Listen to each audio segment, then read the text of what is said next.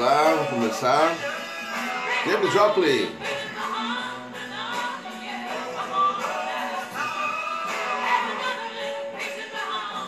Vamos ver aqui, está tudo ok. Vamos ver. Vamos acordar. Som de James Joplin. Estoque. Vamos lá. Vamos ver quem está online. Vamos lá.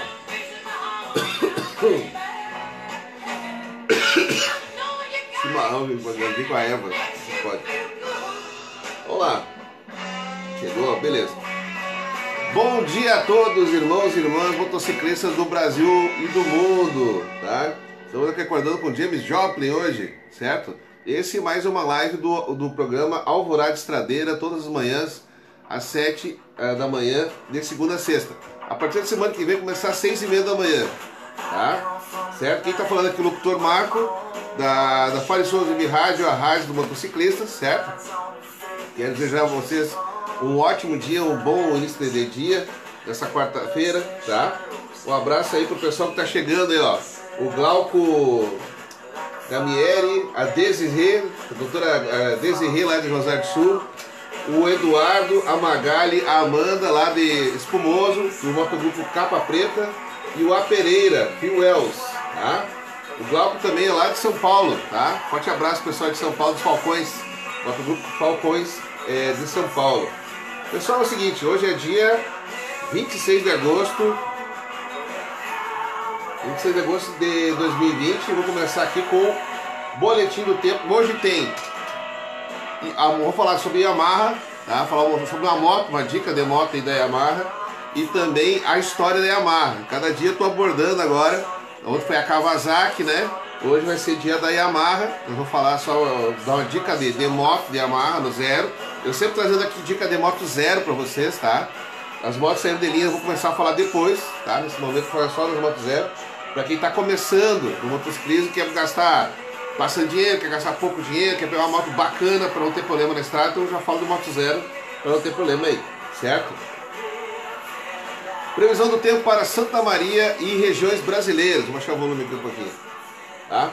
Santa Maria, então, a mínima hoje é 16 graus, atenção pessoal, os motoclubes e motogrupos de Santa Maria, tá? A mínima hoje vai ser 16 graus e a máxima de 28. Amanhã, pessoal, vai chover, tá? Então o pessoal vai pegar a estrada, só quer lavar roupa aí, depois da pandemia tá preso em casa, tem que lavar roupa, né, cara? Até nós tem que fazer isso, certo? Hoje, pessoal, sol com algumas nuvens e não chove. Amanhã chove bastante. Tá? Vamos ver na, no boletim de amanhã, tá? Então, ó, Sul, região sul. Dia ensolarado para os três estados. Vento forte litoral. Atenção pessoal que está no litoral, aquele ventinho é, lateral que pode derrubar a moto aí, né? Só que está na 101, na 116 aí, próximo ao litoral, se preparem que vem vento hoje, tá? Região Sudeste, vento muito forte no litoral do Rio de Janeiro e Espírito Santo. O mar vai estar de ressaca, tá? Por causa desse vento. Ciclone se formando na frente dos dois estados, tá? Demais, demais áreas tudo firme. Tá? Pessoal da região centro-oeste, tempo firme o dia todo, tá? Com o período das queimadas, né, pessoal? Tá terminando já essa época aí das queimadas. Região Nordeste, ventos fortes no litoral da Bahia e chuva no litoral de Sergipe e Alagoas. Atenção, Sergipe e Alagoas, tá? E na região Norte chove em Roraima, norte do Amazonas e do Pará, certo? Hoje na história, quais são os aniversariantes? Quem faz aniversário no dia de hoje, tá? Hoje seria, em, hoje, dia 26 de agosto de 1910, nascia a Madre Teresa de Calcutá, tá? religiosa indiana, faleceu em 1997. Na data de hoje, também em 71, tá? nascia a atriz mexicana Thalia. Tá? A atriz e cantora mexicana Thalia nasceu no dia de hoje. E também, em, na data de hoje, em 1980, nascia Macaulay Culkin, tá? ator norte-americano, aquela criança do filme Esqueceram de Mim. Você lembra, loirinha, aquele que fica perdido? Esqueceram dele, tão, uma família tão grande, esqueceram no Natal, tá? É o Macaulay Culkin. Esse Macaulay Culkin tá cotado para ser o próximo Coringa. Pessoal aí do, do, do, gosta de cinema aí, não sei se vai vingar, né? Mas também o Edward, não tem o vampiro aqui, ele agora é o Batman. Vocês viram o trailer do Batman novo?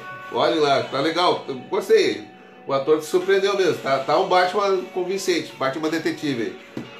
Fatos no data de hoje, no dia 26 de agosto. Na data de hoje, em 1542, Francisco Orellana saía da, do, do Peru tá? e navegou todo o rio Amazonas até o Oceano Atlântico. Era um, desbravador aí. Tá? Então, em 1541, o Francisco Orellana navegou o rio Amazonas alcançando o Oceano Atlântico.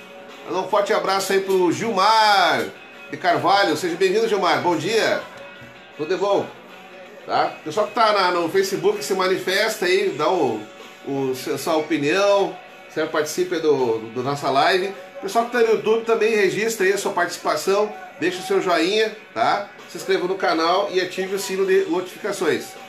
Bom dia, estradeiros. Aí, Gilmar, valeu, cara. Obrigado pelo bom dia, valeu. Olha aqui, ó. Continuando. Na data de hoje também, em 1791, John Fisher recebe a patente do, nos Estados Unidos do barco a vapor. Esse cara que foi o primeiro cara a construir o barco a vapor nos Estados Unidos, certo? E também para encerrar, na data de hoje, em 1883, o, o a erupção do, do vulcão Krakatoa ocorre destruindo quase toda a ilha de Krakatoa. Tá? Isso aqui tem até filme disso. A erupção da ilha de Krakatoa que foi em 1883, na data de hoje. Tá? Certo? Ocorreu lá na, na, na Oceania, na região do Pacífico ali, tá? Feriados hoje, ó, hoje tem, tem cidade de aniversário hoje? Tem.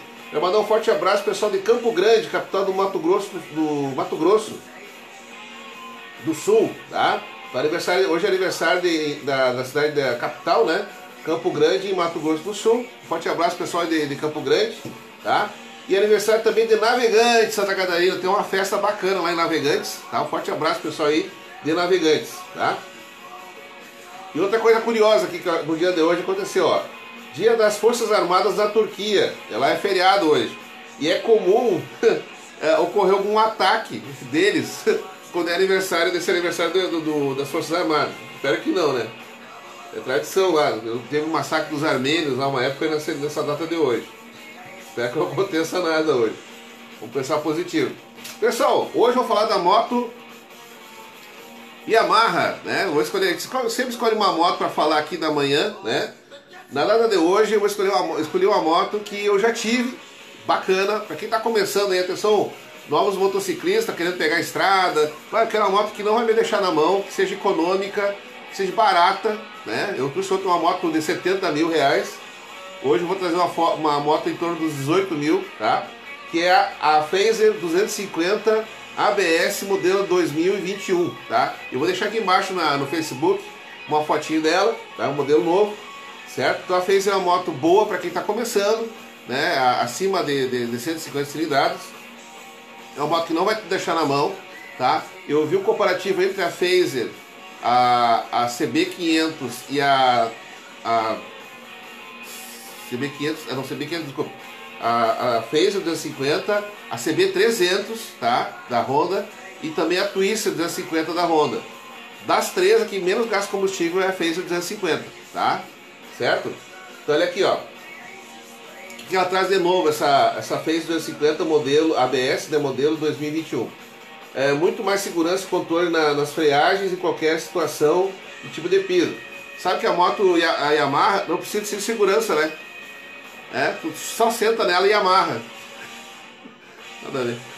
Vou pular essa aí. Ó, farol lanternas de LED, tá? Maior segurança e tecnologia. Painel 100% digital, não tem aquele do ponteirinho, aqueles dois. A, a antiga que eu tinha, por exemplo, tinha dois, dois, dois ponteiros, agora é todo 100% digital. O farol não é aquele mais redondo, é um farol mais moderno, tá? Painel completo com indicador de consumo instantâneo e uso do médio do combustível, tá? Ó, ouro. Então, Metallica. Tá, vamos lá. Aqui, ó. Motor então 250 cilindradas Yamaha, confiabilidade motor Yamaha. Vem nas cores vermelha, azul e preto, tá? Essa é a Yamaha. Aqui tem a parte técnica, eu vou deixar o link para vocês aqui embaixo depois, explicando direitinho quais são a, algumas coisas que tem, ó, posso falar aqui. Refrigeração, a ar, tá? Potência é, de 21,3 cavalos, tá? Deixa eu ver aqui o é, cilindrada seria 259, cilindrada é bem 250, eles falam, botam para mais aí, né? Tá? O tipo de combustível, gasolina e etanol, ele é, ele é, é os dois, tá? Pode usar tanto a gasolina como o etanol. Aqui nós temos de freio ABS, é, disco hidráulico, deixa eu ver o que mais aqui.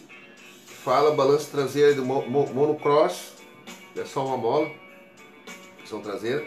Custo dela, sem o frete, tá? Zero, essa moto zero.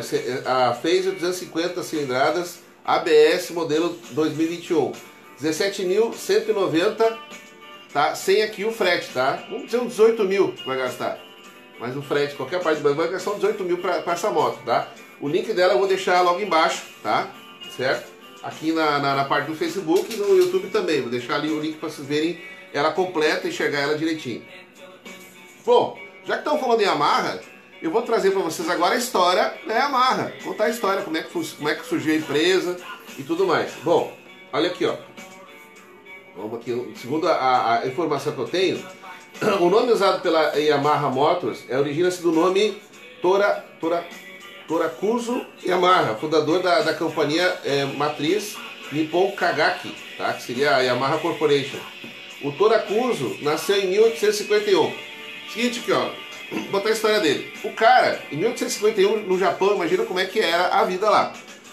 Esse, esse Torakuzo Yamaha, ele era perito em mexer com. Ele, era tipo, na, aldeia dele, era tipo um. Um conserta tudo, tá? Aí um dia apareceu lá, o pessoal da igreja apareceu com um órgão. para consertar um órgão, esses órgãos com ar antigo, a vapor. Ele não sabia nada sobre órgão. Aí o que, que ele fez? Ele pegou o órgão, desmontou todo ele e consertou, tá?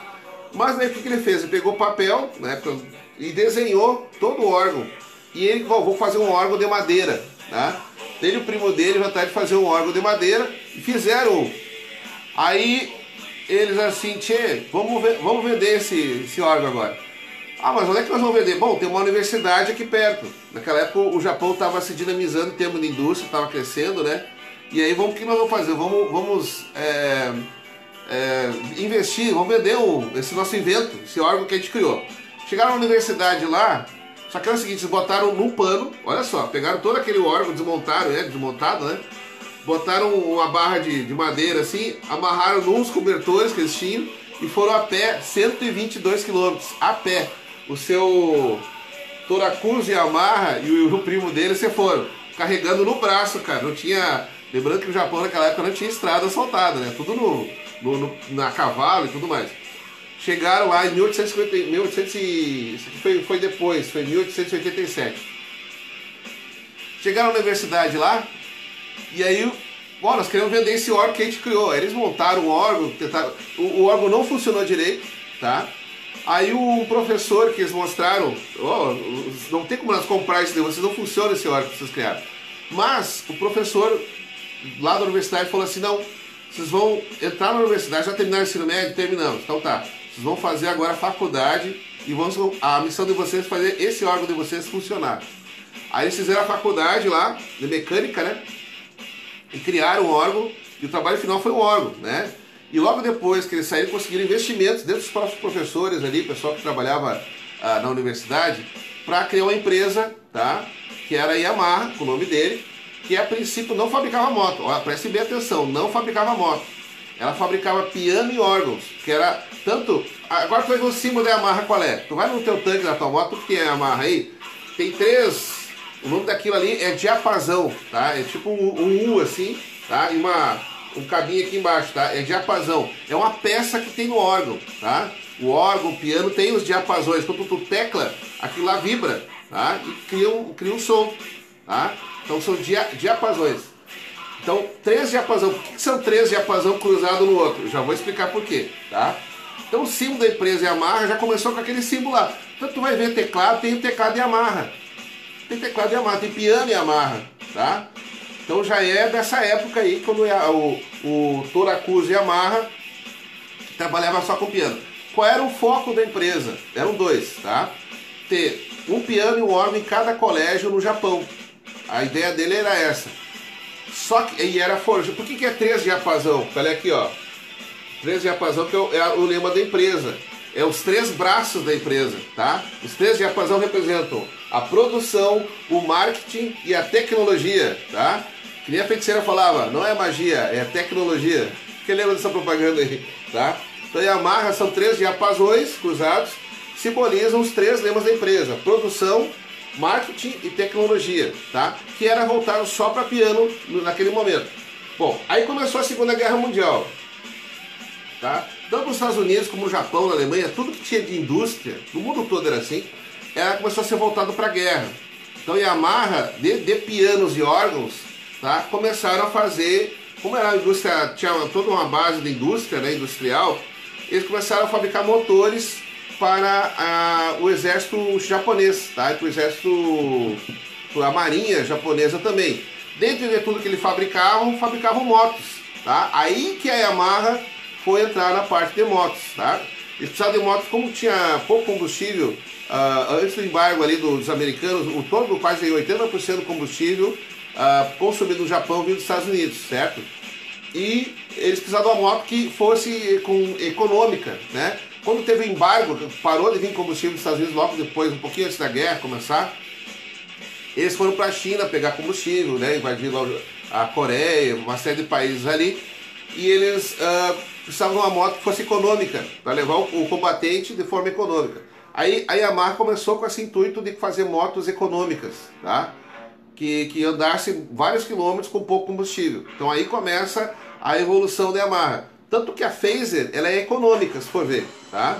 Depois tem o lance da Phaser que eu já vou contando aqui. Outra coisa, uma, tinha que ser uma moto robusta, uma moto que aguentasse o terreno assentado. Lembrando que na Segunda Guerra Mundial nem todas as cidades do mundo eram pavimentadas, como agora, né? Então tinha que ser resistente e tinha que ser uma suspensão boa, né? E tinha que ser econômica. Então a, a, o tema da, da Yamaha até hoje é esse, tá? Devido à questão da guerra. Terminada a guerra, a companhia começou a ganhar investimentos, é, capital vindo do, dos Estados Unidos. Os Estados Unidos prestou muito dinheiro para o Japão depois do pós-guerra. E a Yamaha cresceu em função disso. Então, tinha uma demanda muito grande por veículos para transportar a população, tá?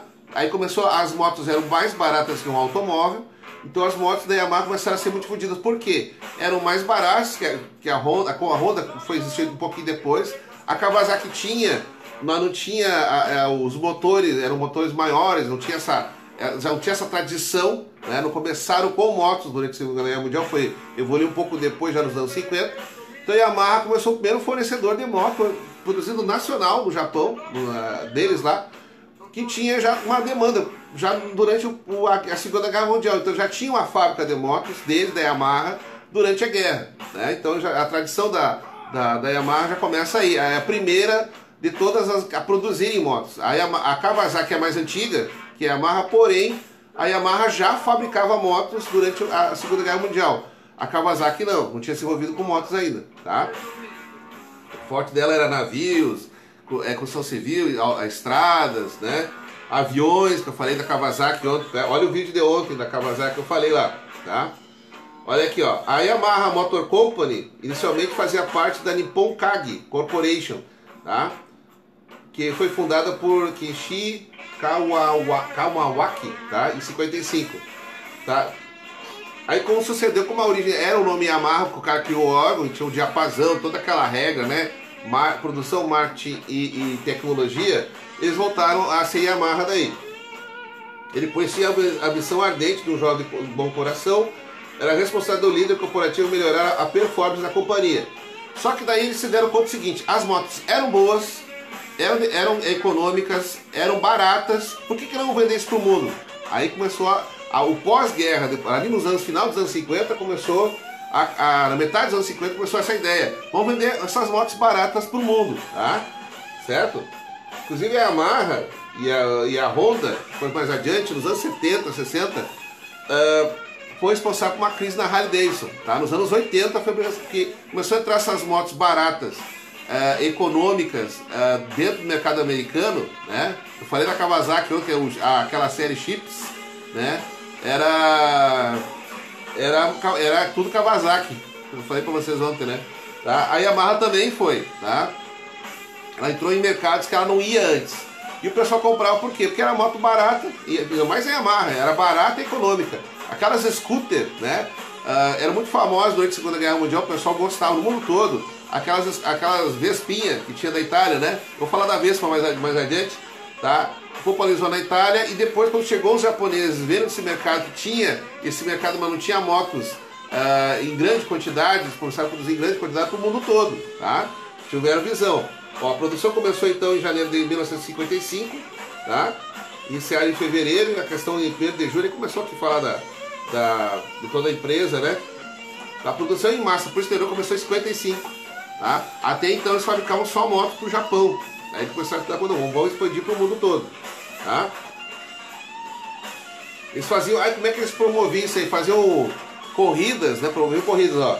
É, a fundação da, foi em julho de 55, a equipe Yamaha venceu a terceira corrida subida ao Monte Fuji e varreu os primeiros lugares da competição sucedeu porque o, era uma moto resistente, econômica e não quebrava, né? Aqui depois surge a Yamaha vai ter também uma forte ligação com o cross. Eles começaram a desenvolver motos voltadas para a pista é, é mais detonada, assim, não asfaltada, né? Até hoje a Yamaha tem tradição uh, com o pessoal, a pessoa, o pessoal que curte motocross aí, né? É difícil ver uma moto da Honda. Tem as motos Honda também. Mas a Yamaha, né, ela entrou essa até hoje a suspensão é melhor, né? São motos resistentes, econômicas, tá? Vem de, ela vem já de um caminho já de longa data. Começa lá na Segunda Guerra Mundial. Das três, Kawasaki, é, Yamaha e Honda, a Yamaha é a mais antiga em termos de construção de motos, tá? A Kawasaki é mais antiga em termos de empresa, mas a Yamaha ela é mais antiga na questão de construção motos, tem mais tradição, ou seja, tem mais estrada que as demais, tá? Amanhã eu vou falar da Honda, tá? Hoje estou falando da, da, da, da, da Yamaha, mas amanhã estou falando da Honda. Então, lembre-se, quando vê aqueles dois, aqueles três diapasão, tá? Que lá não é. Não é. O pessoal fala que é uma, um símbolo japonês dos, dos ninjas, não tem nada a ver, tá? Que lá foi produzido são diapasões, que são peças de teclado, tá? E simbolizam, são três diapasões cruzados, significa produção, marketing e tecnologia. Olha só, que bacana, né? Aprendemos alguma coisa hoje sobre a Yamaha, né? Aquelas simbologias que eles usam muito, certo? Então, tu olha o símbolo. A Honda tem aquela asa, vai ter motivo também. Eu vou falar amanhã, certo? Mas por enquanto é isso. A Yamaha, então, é uma empresa que, enquanto que a Kawasaki se, se focou mais em motores com alta potência, alta performance e velocidade, a Yamaha se focou mais na questão da resistência e também da, do consumo, tá? Então são, são, são motos que têm uma resistência de suspensão, né? E trabalhei em vários terrenos aí mais acidentados e também a, a, autonomia dela. E pode pegar qualquer, qualquer moto Yamaha, sempre vai ser mais econômica. Isso é uma coisa que eles têm lá de longa data, tá? Eles são, eles são não é uma moto potente, mas é eficiente em termos de consumo, tá? Pessoal que tem Yamaha aí, por favor, se manifeste aí. Manda um abraço pra gente. Eu tive a Yamaha, tá? Eu tive a, a Phaser 250, é excelente a moto. Recomendo para quem está começando. É uma moto de fácil aquisição, é uma moto, não é uma moto cara em termos das demais. Tá? Eu aconselho com pegar zero, por quê? Ah, mas moto usada é bom, claro, é barata, né, cara? Se fizer uma revisão direitinho, pode comprar. Ela tá 16, 17 mil para comprar, ou 18 mil que vai gastar numa Phaser é, 250 modelo 2021. Porém, os modelos mais antigos a gente consegue por faixa de 7 mil, 8 mil depende do estado. Sempre, pessoal, revisando. É, é, a questão lá no, no Departamento de Estados Unidos, a questão como é que está a situação dela da, do, do Detran, né? Então, está tudo os documentos, né? Se é uma moto antiga, né? Então ver os documentos, como é que ela. Se ela foi, de, ela foi detonada em corrida, que ela pega muito a, a, a Phase 250 para dar pau, né? O pessoal diz aí. Né? O pessoal gosta de detonar, acelerar, só gosta de corrida e não tem muito dinheiro, pega uma phase e detona, tá? Dá uma olhada no motor, leva lá pro seu mecânico, dá uma checagem, certo? Então toda moto usada tem que fazer isso. Fazer um mecânico de confiança e ver o que está acontecendo lá. Se a moto tá ok, para não acontecer acidente na estrada. Eu sempre repito, pessoal do motoclube, pessoal do motoclube que está me vendo aí, forte abraço, tá? Fazer, o que, que eu exijo lá sempre? Ah, tá com a moto em dia em termos de documentos, né? Documentação, habilitação, ah, o registro da moto, tá tudo tem que estar tá ok para pegar a estrada. Então vai sair para viajar para se incomodar, né? Faz isso em casa. Né? Tu vai sair para lazer, pô, né? Então vai sair para divertir lá agora, tem os motos enquanto estão voltando. Pessoal, a pandemia tá terminando, tá? Eu vi agora no jornal agora de manhã, na, na, na Veja, que já está tá terminando, a, tá diminuindo o número de óbitos por semana. Então é uma boa notícia, já faz duas semanas que está caindo o número de óbitos aí, tá? Então vai terminar essa história. Nós vamos começar a voltar agora em outubro, se Deus quiser. Tá? Final de outubro aí, novembro, já vamos estar na estrada de novo, tá? E é isso basicamente sobre a Yamaha, tá pessoal? Graças a tá terminando. Quero mandar aqui um abraço, ó, pro pessoal lá de Cruz Alta, pra Gisele e a, Gra a Gladys, né? Que tem lá uma hospedagem, hotel e pub, tá? Então se tu tá viajando, passando pela ali pro Cruz Alta, no Rio Grande do Sul, ah, eu quero tomar uma cerveja, quero descansar. Tá cansado da viagem. Aí procura lá as nossas amigas no endereço delas aqui, ó, Avenida Barão do Rio Branco, número 576, em Cruz Alta, tá? Falar com a Gisele e com a Gladys. Ela tem um pub lá, para tu quiser comer, tipo uma refeição, tem comida lá. Ah, mas eu quero pousar aqui em Cruz Alta, tô muito cansado, peguei uma viagem de mais de 700 quilômetros. Beleza, tá? Só falar com elas lá, tem pouso. 9 horas da noite, fecha o bar, e aquilo lá vira uma hospedagem. Tem banheiro para tomar, tem chuveiro quente, tá? Tu tem barraco para tu botar tua barraca, tem lugar para tu botar tua moto dentro do bar. Na parte de trás do bar lá tem uma área enorme, tu pode acampar lá, tranquilinho, paga ali uma 10 reais para posar, 10 reais pessoal, com direito a banho e café da manhã, as mulheres já serviram para fazer um café da manhã legal para você. Tem lareira, pessoal que tá no inverno agora, né? Hoje tá quente aqui no Rio Grande do Sul, mas daqui uns dias vai fazer frio de novo, tá? Tem lareira, tem fogão a lenha, olha só que bacana, tá? E depois pega a estrada de novo e volta para casa, meu amigo, tá? Tem cerveja artesanal, tem mesa de sinuca, tá? É um bar completo, como tu possa imaginar. Além do, do acolhimento das meninas, que vai ser bem legal, tá? Certo? A Gladys lá, ela promove o Moto Mulher, pra quem não sabe, na cidade, é, é agora diz que é itinerante, né? Tem várias cidades que tá fazendo isso aí, certo? Então há uma dica pra vocês. Eu vou deixar aqui o telefone delas, tá? Da Gisele. Oh, aqui a região é 55, mas lá ela tem o telefone 54, ó. É 54999 165563, tá? Falar com a Gisele, seu telefone no WhatsApp dela, certo? O, repetindo aqui o endereço, fica na Avenida Barão do Rio Branco, número 576, em Cruz Alta, Rio Grande do Sul. Forte abraço aí, Gisele Gladys aí, você fazendo o comercial de você, certo? Tá? Lembrando aqui, ó, pessoal que tá em São Paulo, tá? Tá em São Paulo. Tá confirmado que vai, parece que vai acontecer mesmo, para as eleições os caras vão liberar aí, a pandemia vai diminuir, né? Então lá em São Paulo vai, vai ser obrigatório, acho que eles vão ter que fazer isso. Está confirmado para nós aqui que me passaram, dia, é, dia 30 e 31 de outubro e 1 de novembro de 2020, o 23 Encontro Nacional de Motociclistas em Leme, São Paulo. Atenção, Leme, São Paulo, pessoal de São Paulo aí, um forte abraço. E aqui no Rio Grande do Sul, ó, nos dias 13, 14 e 15 de novembro tem o sexto Moto Rock Condor em Condor, Rio Grande do Sul aí, Rogério Nau, tá? Forte abraço para todo mundo aí. A entrada é 20 reais, tá? Eu vou adiantando, certo? Tem, tem lugar para acampar, vai ter show, vai ter todas aquela, aquelas coisas que tem em moto encontro aí, né? É bacana. Vai ter um sorteio entre amigos, dia 14. A sorteio, se não me engano, uma moto lá. Então, compra lá, chega, compra, tem ingresso. Tem café da manhã, tem janta, tem churrasco, tem uh, calda, aquela sopão na madrugada entre sexta e sábado ali para o cara se aguentar em pé como os outros, tá? Uh, vai ter caneca personalizada para quem participar, quem pagar os 20 reais. Tem troféu para os participantes, tem troféu para os homenageados. Vai ter boate nos 80, né? bailão, bailão Galdério. O pessoal gosta do bailão aí também. Vai ter exposição, vai querer comprar uh, colete, vai ter lá a exposição, capacete, toda aquela. tudo que o motociclista precisa, tá? Vai ter praça de alimentação, então imagina, vai ser o, o paraíso do motociclismo lá em Condor Sexto Moto Rock Condor em Condor, Rio Grande do Sul, certo? Então nunca deixe de, de conferir essa data. Então dias é, 13 e 14 de novembro. Tá? E aqui para encerrar nosso programa de hoje, a som de uma guitarrinha, ó. Frase motivacional do dia, vamos lá. Hoje é com Steve Jobs, tá? O grande mestre da, da Apple, tá? a empresa Apple. Ó, vamos lá. Que, que nos traz ele para nós aqui, ó? Cada sonho que você deixa para trás é um pedaço do, seu futuro que deixa de existir. Olha só que bacana, tá? Repetindo, Steve Jobs, tá? Cada sonho que você deixa para trás é um pedaço do seu futuro que deixa, que deixa de existir, tá? Certo? Então, é, nunca desista seu sonho, pessoal, tá? Nunca desista seu sonho, tá?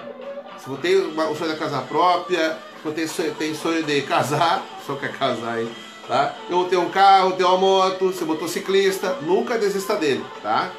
Que é um, é um pedaço do seu futuro que deixa de existir, tá? Eu sou um que não desisto do motociclismo nunca. O pessoal que me conhece aí sabe como é que é a minha, a minha sequência. Estou há 11 anos nessa, tá? Sei que tem gente que tem mais anos que eu aí, tá? Tem gente que tá há 40 anos aí, já se aposentado, né? Agora tá vivendo a vida mesmo, né? Pega o dinheiro da aposentadoria, vai viajar, demora com a, com a esposa, com os filhos, com os netos, né? Isso é bacana, tá? Então é com essa mensagem de hoje desse vídeo Jobs que eu me despeço de vocês, tá? Desejo a todos uma excelente quarta-feira.